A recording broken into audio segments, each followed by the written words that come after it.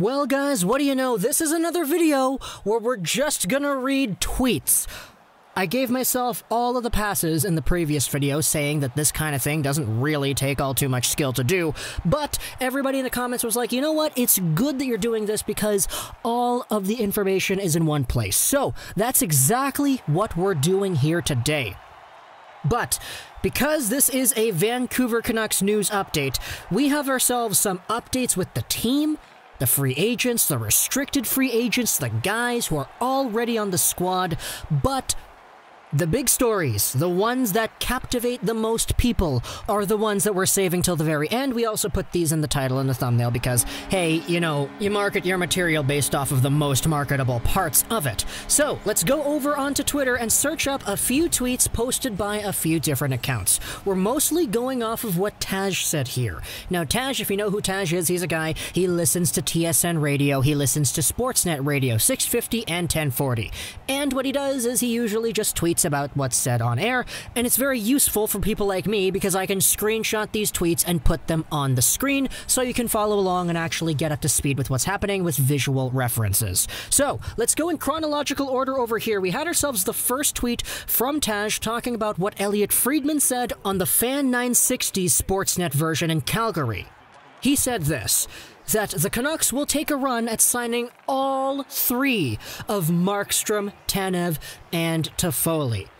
Then, they'll make other roster decisions based on what happens with those three.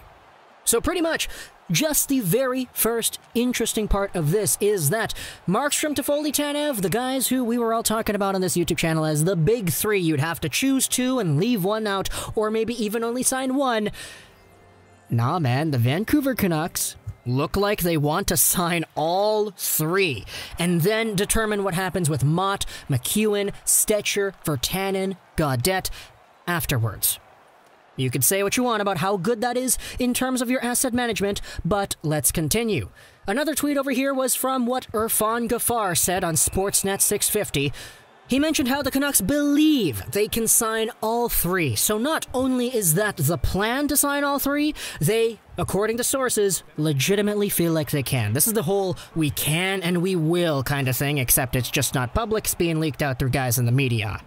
Next up, though, another tweet over here from Taj goes over what he personally believes, just the way that everybody is talking on the radio. It sure seems like it's going to be Tanev or Stecher based on everything coming out. This refers to the log jam on the right side, Rafferty Myers. These are two guys that are already there. But Stecher and Tanev are the other two guys who the Canucks have that may be able to fill that last spot. But one's a UFA, one's an RFA.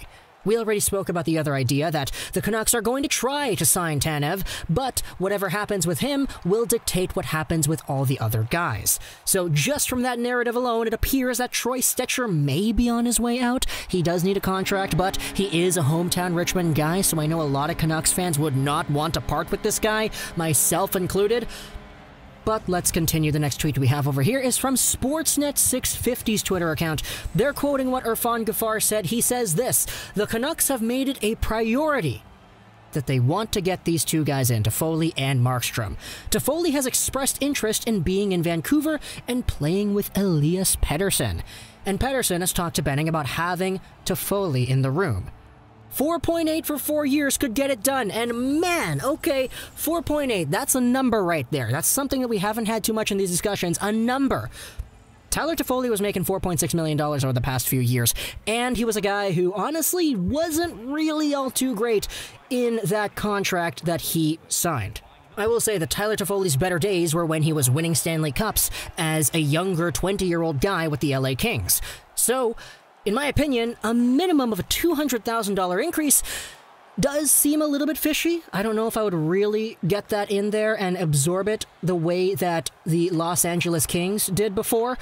Especially considering his performance. But devil's advocate to that point of view, Tyler Toffoli was literally a point per game when he was here in Vancouver in the regular season. You can say what you want about the playoffs, but the guy had 10 points in 10 games played. So there certainly is a debate that could say that this guy could demand that amount of money. But if it is 4.8, then hey, there's going to be a lot of other stuff that's going to have to happen with this Canucks team because right now, as I'm recording this video, the Canucks have a projected $14 million in cap space. So that's $10 million left to work with with Markey, Tanev, Stecher, Gaudette, Virtanen. You know what I'm talking about here. It's a lot.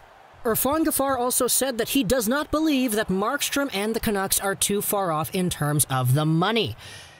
It's about a no trade, no move clause, and this is going to kill the Canucks because if Jacob Markstrom gets a no trade or a no move, then Demko is going to Seattle. Because once you have one of these things attached to your contract, you are automatically protected in the expansion draft. That's just how it goes. And the Vancouver Canucks are only going to be allowed to protect one goalie. And if that goalie is Jacob Markstrom by default because he is not allowed to be moved, Sayonara, Demko, you're out.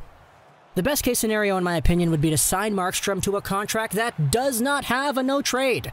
So you can trade this guy at the deadline, get some assets back, so he doesn't leave for free. And then you roll with Demko going into the expansion draft and the remainder of his career in Vancouver.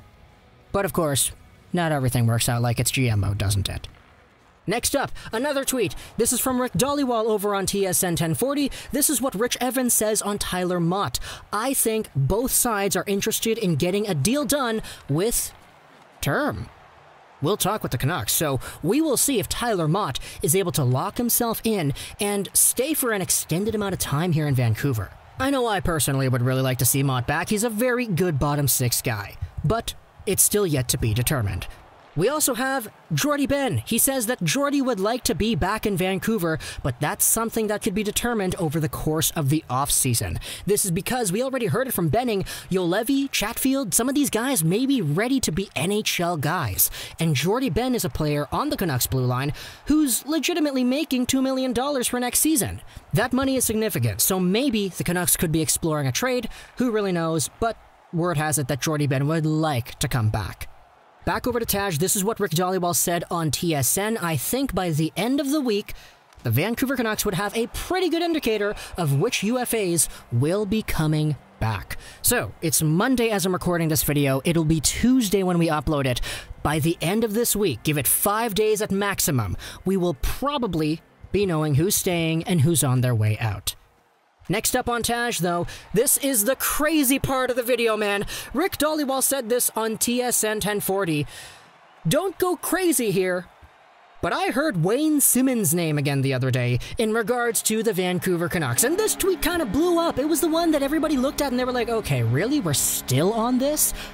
Wayne Simmonds is a power forward. His best days are behind him. This has all the makings of another Loui Eriksson like situation, but if you want to hear me talk about Wayne Simmonds more, check out the video we made about him on the Leafs. Also, we have a lot of other videos on this channel too. Just search up Simmonds, Canucks, Lego Rocks 99 and you'll see a lot showing up there. But we have a few other little tidbits as well. This is what Taj wrote about Dhaliwal. Pittsburgh is a team I keep hearing about that would have a lot of interest in Chris Tanev.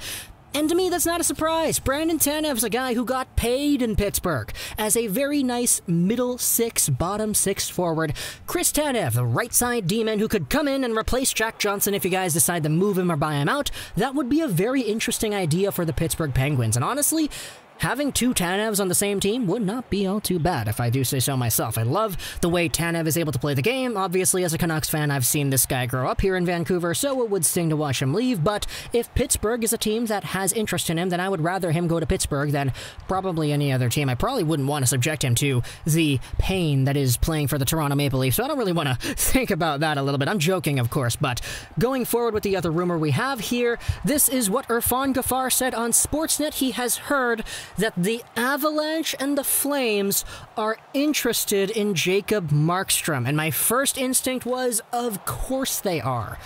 We've seen goaltending rumors out of all these teams over here. The Avalanche with Francouz and Grubauer looking for Matt Murray. We talked about the Calgary Flames, Cam Talbot, David Rittich, all these guys over here.